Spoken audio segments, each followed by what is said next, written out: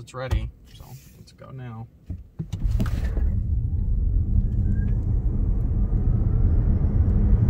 Okay. 5.32 seconds.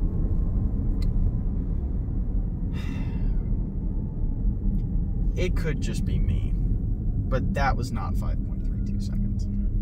Alrighty, so this video is going to be a little different from the rest of ours. Now, I'm sitting in a Mach-E GT Performance right now. And originally we were going to do a video testing the 0 to 60 time of this car using a GPS timer with the phones. And then when we were doing it, we realized something. That phone GPS timers suck compared to normal ones. So normal ones being something like a V-Box or a Dragy or something you'd plug into the OBD2 port or something that is way better when it comes to connecting to GPS than a phone app. So the rated time from Ford is 3.8 seconds to 60 for this car. Now, how true that is to life, I'm not going to be able to tell you because the app is absolutely awful. Now, we've tried one. The first one being Race Timer. And the second one being this timer right here. Now, these both use GPS tracking to track where the car is in one spot and where the track where it is in the next spot, and it measures your speed along that amount of stretch of road and you know uses GPS to find your speed and everything like that. And there are other more expensive options like a draggy will use your GPS as well. But I've also seen a lot of draggy um, Dragy 0 to 60 times and everything like that that work a lot better than these do. Now we do have one of these boxes on order that plug into the OBD2 port and also use GPS to track everything.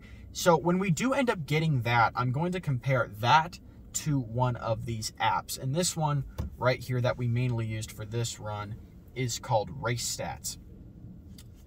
And honestly, it's not that good because we were also using the other race timer one. And at first I ran it and I got a 3.9, which was believable. And before that I got like a 4.2, which is believable because that's within, you know, half a second of the claimed 0 to 60 time, which is usually what these electric cars can do. And you can't screw up launching an electric car. You put your foot down. There's no gears. There's no, you don't have anything to screw up. You're in the power band consistently. So there's literally no way to screw up launching one of these cars. So for our first run, I'm going to play it right now.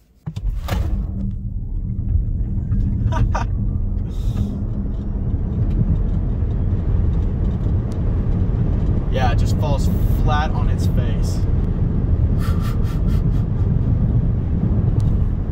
that can't be right.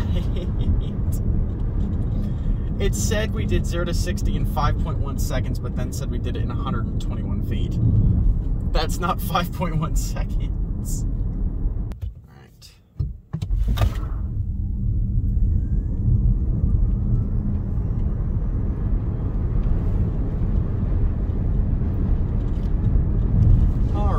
Let's check.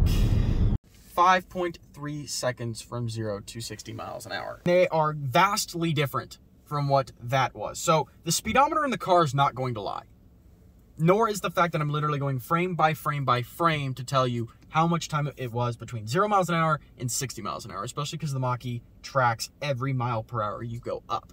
So my one issue with this is that these are free apps which is a good thing, but when you take into account that the actual 0 to 60 timers, the high quality ones that most content creators use, are between $150 to $500 for something like a V-Box, then you kind of start to see, well, why are these free apps free? Well, they're free because they suck.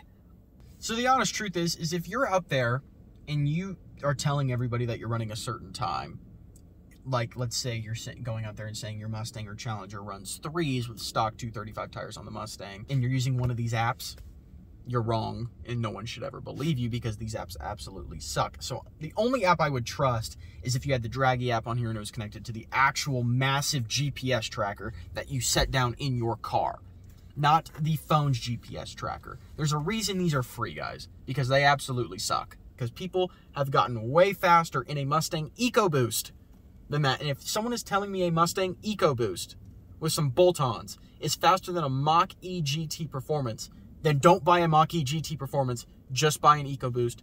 and throw some bolt-ons on it because if this is true, this car's a waste of money.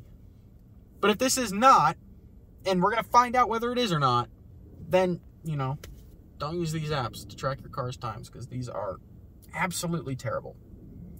Anyways, guys, if you like this video and you found it enlightening and it found it informative and you found that you shouldn't use these or you're basically going to get a screwy time that's going to make you feel bad about your car, then, you know, like the video down below and subscribe.